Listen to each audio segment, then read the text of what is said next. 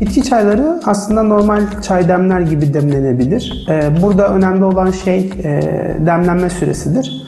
Kaynayan suyun üzerine çay yaprakları ya da e, tozu bırakıldıktan sonra bitki tozu bırakıldıktan sonra 2 ila 5 dakika içerisinde e, posasının çıkarılması, demlenme süresinin bitmesi söz konusudur.